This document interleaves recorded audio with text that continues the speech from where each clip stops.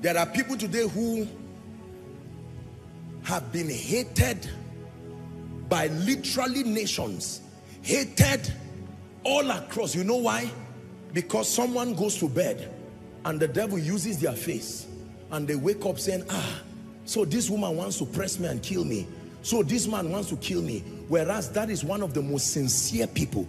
They come to the office and the man says, good afternoon. Say, no, you are leaving my office today. What did I do, sir? The man cannot say, and sometimes, with all due respect, this is where we men of God must learn how to walk in the spirit so that you don't just misinterpret prophetic things.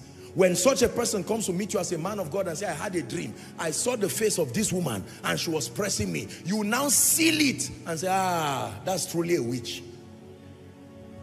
You imagine what happens if you come to church and the woman is sitting by your side. They say, praise the Lord, she's praying. You are saying, ah, this prayer, you are a witch. You would die here.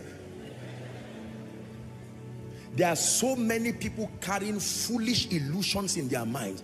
Drama, only their mind is acting. Are we together?